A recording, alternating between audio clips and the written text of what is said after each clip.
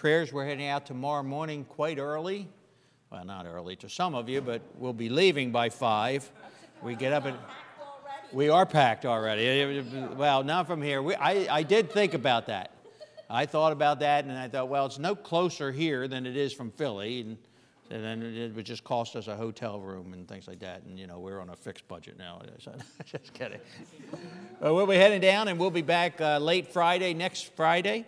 And then uh, we'll be back here ready for vacation Bible school. Things are going great. Continue to pray for that. We will. We're still praying for 30 kids.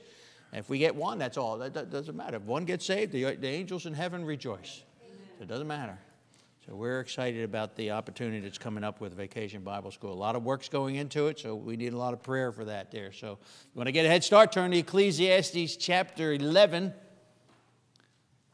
Ecclesiastes chapter 11, and I've titled it No Risk, No Reward. As we uh, get to Solomon's journal here, as he's getting to the end of his journal. And I came across this story a while back and it seems like a good story to help me to uh, introduce our study this evening in Ecclesiastes chapter 11. And there's an older gentleman who loved to play golf. You would expect nothing less than a golf story as we're getting ready to leave, but he loved to play golf. And however, he was in his early 80s, and his vision was terrible. He had a very difficult time playing golf because he could not see where the ball went. So he always had to have other people play with him. So they, he would hit the ball and they would tell him where it went. And then he'd go find it and then continue to play golf. And one day the elderly gentleman came to uh, show up to play golf. And unfortunately, all of his golfing buddies canceled on him. So he was sitting there and he was quite de- dejected and we came, uh, got a little upset, to be honest with you. And uh, it was a beautiful day for golf. He really wanted to play, but he wasn't going to get the opportunity to play. And finally, another elderly gentleman came into the clubhouse and saw him sitting over in the corner, all depressed. And he said, What's wrong? And The man explained his predicament. He said, I was really looking forward to playing golf today with my buddies, but I, I don't see well anymore, and I really can't see the golf ball. So I need somebody to watch while I hit the golf ball. The second elderly gentleman, who was actually older than this man, he said, Now look, he said, I have perfect eyesight. He said, I can see like an eagle. I would be happy to play golf with you and I will watch where your ball goes. The man was excited, so they got out on the first tee, and the old man got up and he hit the ball right down the middle. And he looked over at the other older, older gentleman and he said, Hey, did you see it? And the guy said, Yeah, I watched it until it stopped rolling. The older man said, Well, that's great. Where did it go? The other older man said, Gee, I don't know. I forgot.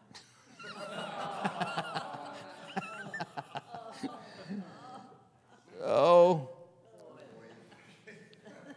Best laid plans don't always work.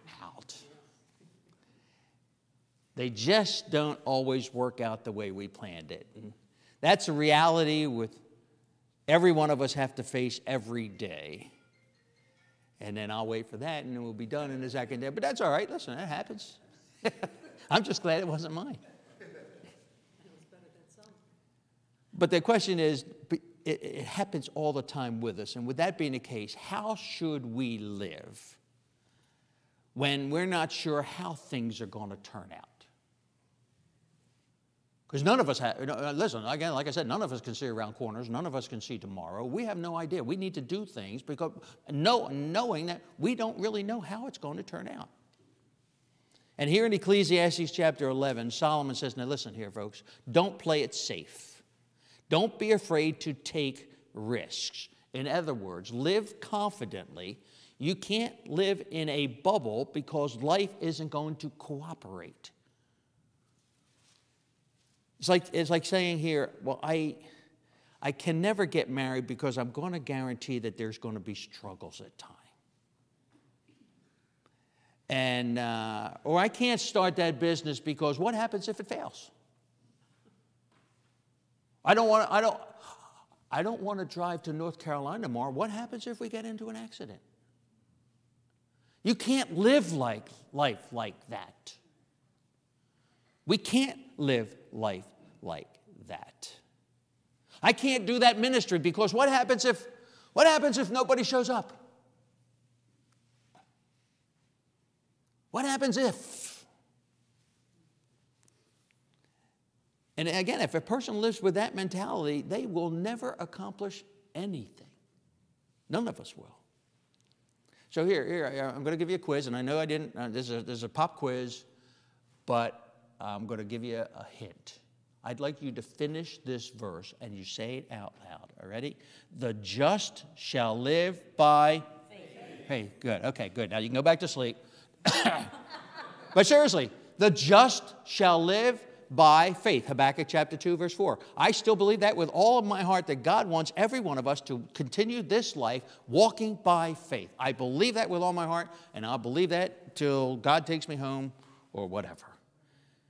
The just shall live by faith. And Solomon is going to encourage us today, as he writes in his journal here, some sound advice for us to consider. He gives us two very helpful hints on how we can continue to walk by faith even uh, at our age now, those of us who may be over 39. He's going to tell you, two, here's the two things I've given you ahead of time diversify your investments, you've heard that before, and seize the opportunity. That's what Solomon has for us here in Ecclesiastes chapter 11. So, first off, diversify your investments. Now, right away, your mind is going to your 401k or something like that. But I want you to turn to Ecclesiastes chapter 11, verse 1 says this Cast thy bread upon the waters, for thou shalt find it after many days. Give a portion to seven, and also to eight, for thou knowest not what evil shall be upon the earth. Let's pray together. Father, again, Lord, as we have an opportunity to look into your word, I pray, Lord, that you would help us to maybe uh, understand this passage uh, as Solomon intended.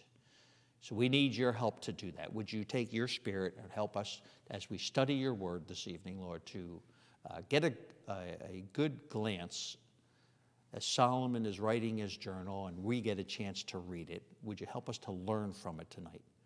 Thank you for it in Jesus' name. Amen.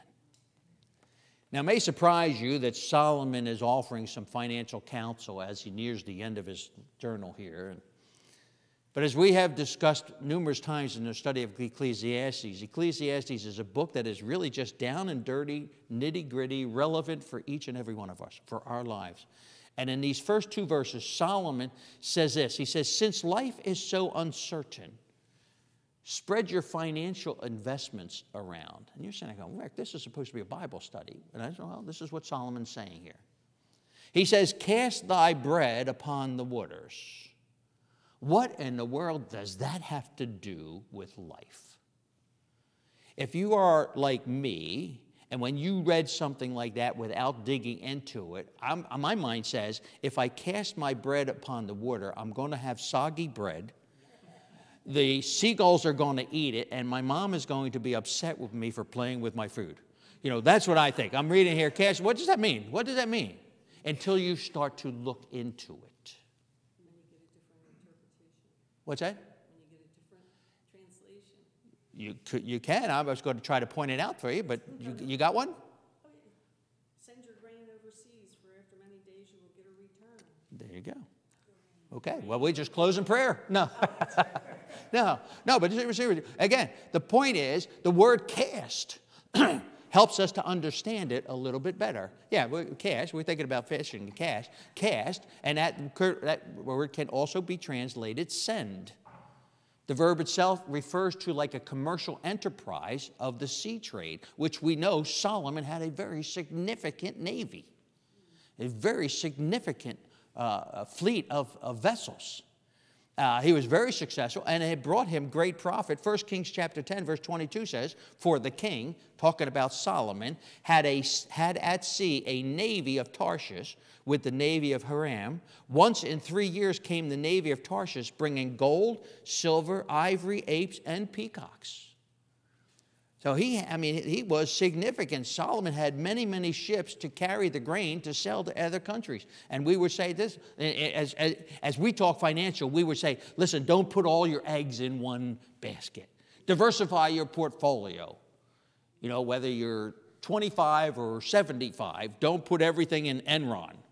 Okay? Don't do that. You know, it's just poor financial well, that was stupid financial, but that wasn't their fault. That was criminal. But anyhow, let's move on.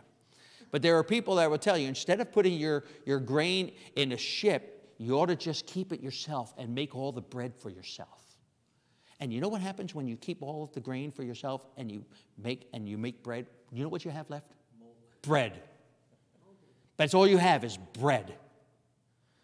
He says, Cast it upon the waters, for thou shalt find it after many days. Give a portion to seven and also to eight, for thou knowest not what evil shall be upon the earth. There's no risk if I keep it to myself and I just make bread, but then it's going to get moldy, like you said, Steve. It's just going to get stale bread. That's what I'm going to have left. I've got no return on my investment.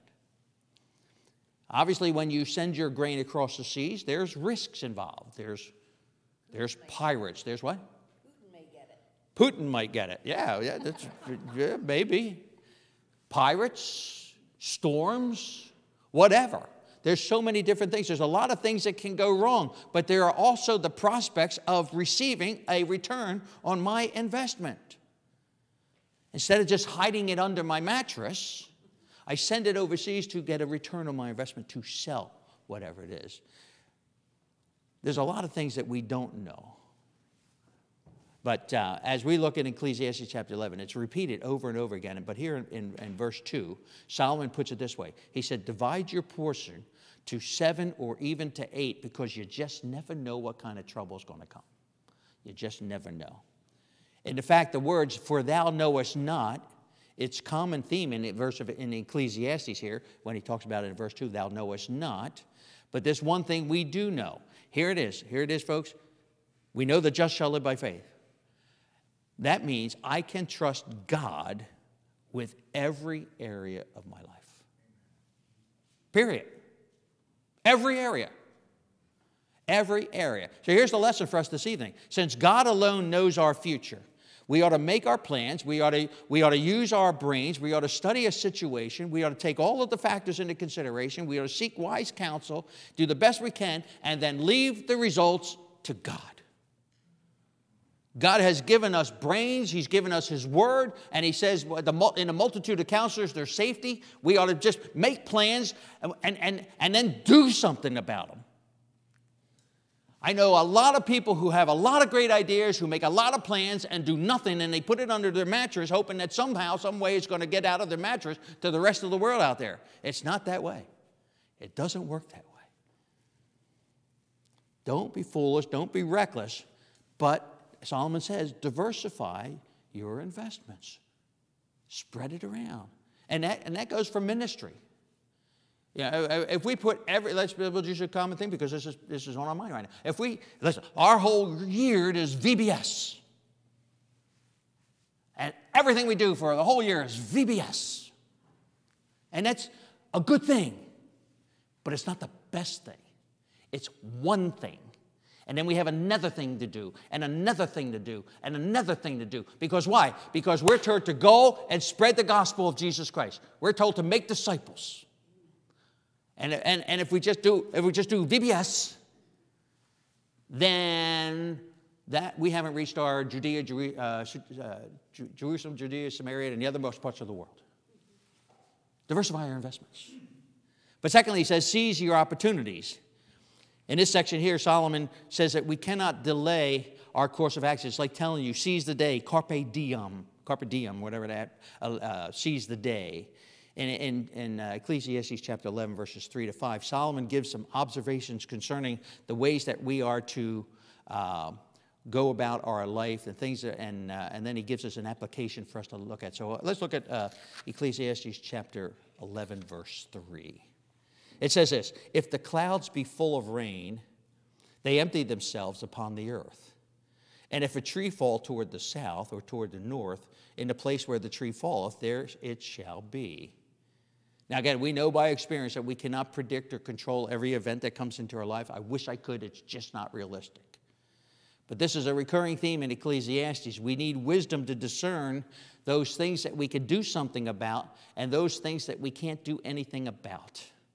We need to understand, and we cannot stop nature's patterns. I can't stop the rain. I can't make it rain. I'm not, you know, I'm not that person. None of us are, the best of my knowledge. So I can't do anything about that. And I can't, I can't do anything about which way a tree falls. It's what Solomon's talking about. You can't, the tree falls to the south, it falls to the north. I can't do anything about it. I'm not even going to try to get a chainsaw out. I'll, I'll lose a couple limbs myself. But you can't, you can't control that.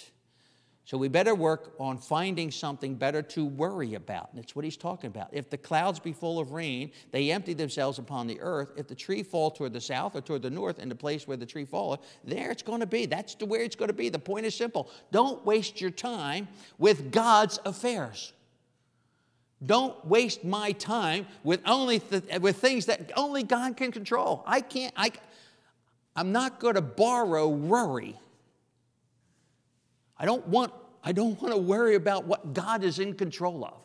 I got enough things to worry about myself that I can do and control myself. And that's what he's talking about. Don't waste your time with God's affair. Psalm 24, verse 6 The earth is the Lord's and the fullness thereof. This is God's. This is God's.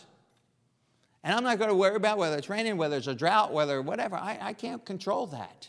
But I, control, I can control my attitude towards it. I need to stop worrying about the things that I have no control over and never will and leave it all in God's most capable hands. Here it is, 1 Peter chapter 5, verse 7. Cast some of your cares upon him. It doesn't say that. In fact, it doesn't say cast most of your cares upon him. It says all. Casting all of your cares upon him. You know what all means? All means all, and that's all all means.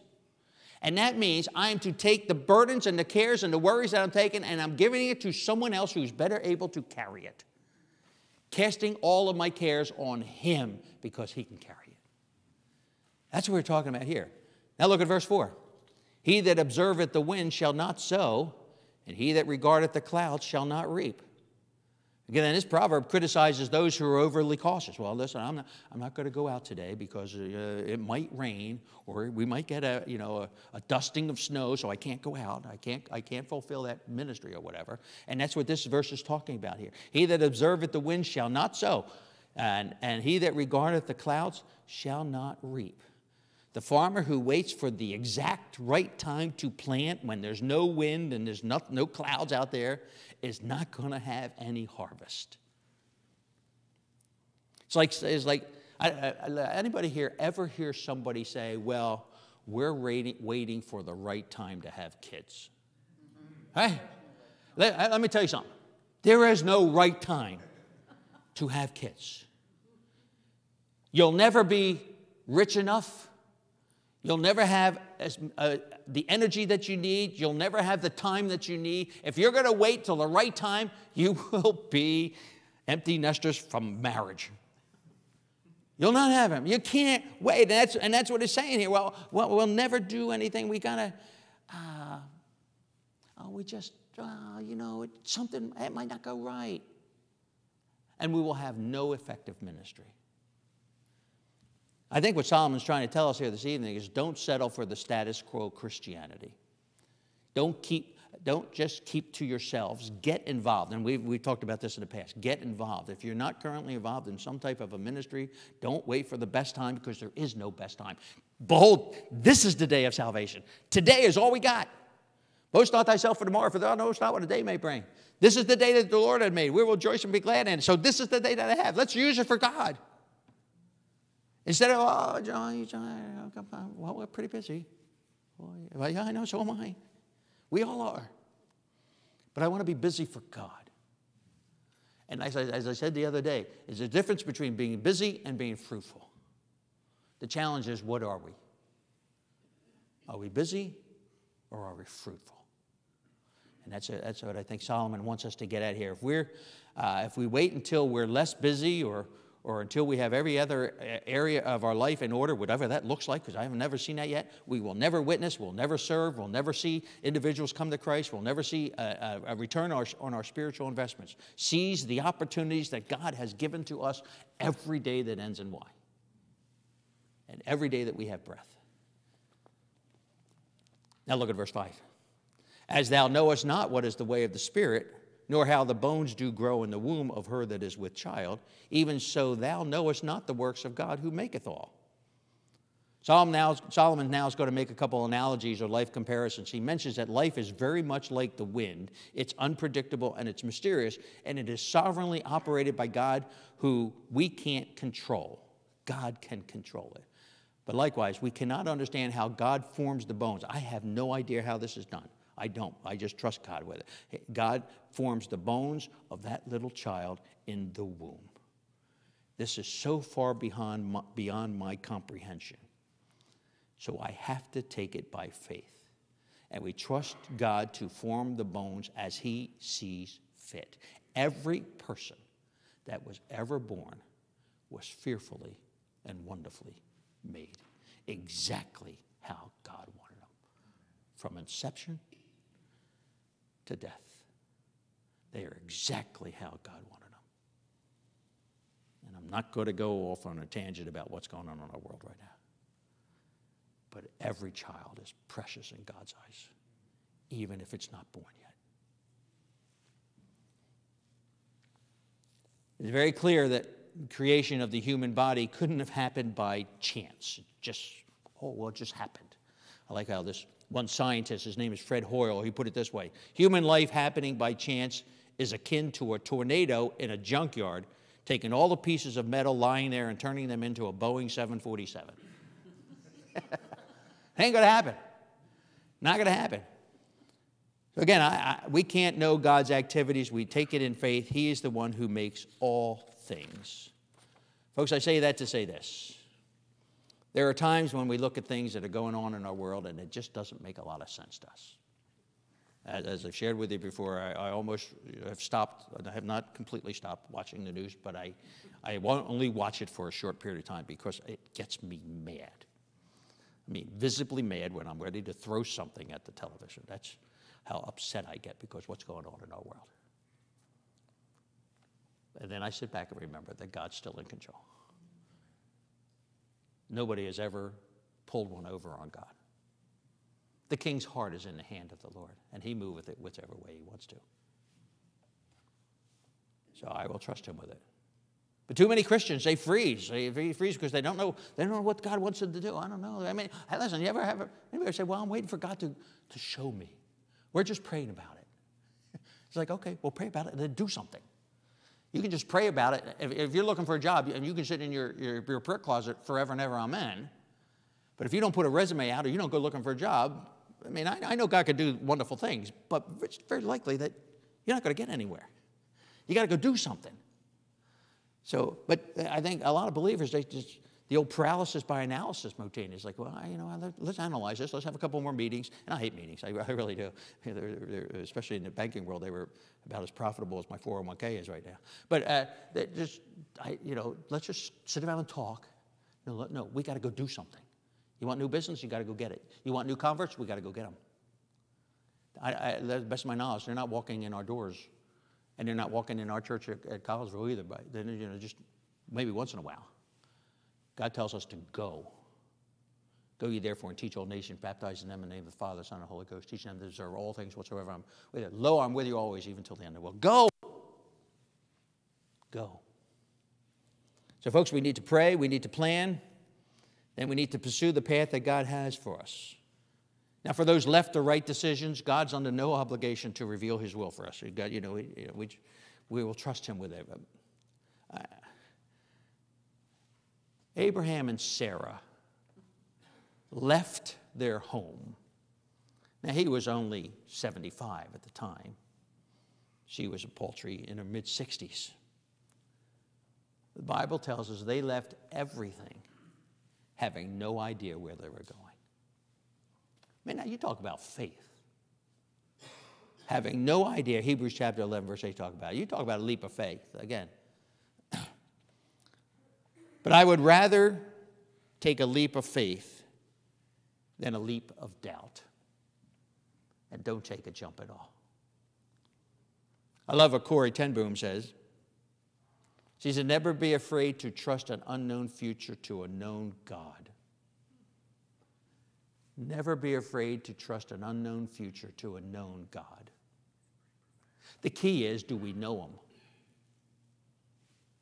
Do we know Him well enough to cast all of our cares on Him and trust Him with everything? So, okay, so here's the rest of the story, as Paul Harvey used to say. Solomon says, You sow in the morning and don't be idle in the evening. Do you know what that means? It means in the evening of our life. So, for those of us who are over 39, we can't just sit back and say, "Well, I'm retired. I'm just going to sit back, watch, you know, watch Jeopardy, and, and eat bonbons, and then go to bed at 7:30." No, no, no, no, no.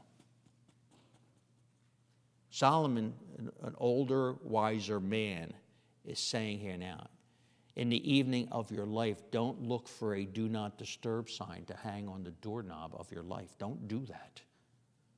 God doesn't want us to do that. Resist the urge to say, I'm retired, leave me alone. I I've done my time.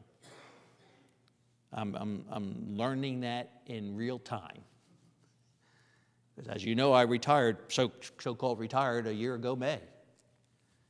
And now I, I, I become one of those people who say, now I'm busier now than when I was working.